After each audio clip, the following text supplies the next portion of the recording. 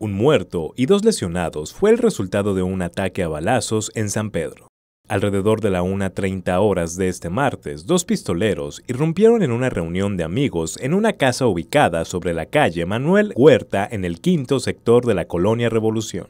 Los atacantes llegaron en una moto y dispararon desde la banqueta. En el lugar quedó sin vida un joven de 20 años identificado como Jordán Castillo. Paramédicos trasladaron a uno de los lesionados al hospital de zona, mientras que el otro se habría trasladado por sus propios medios.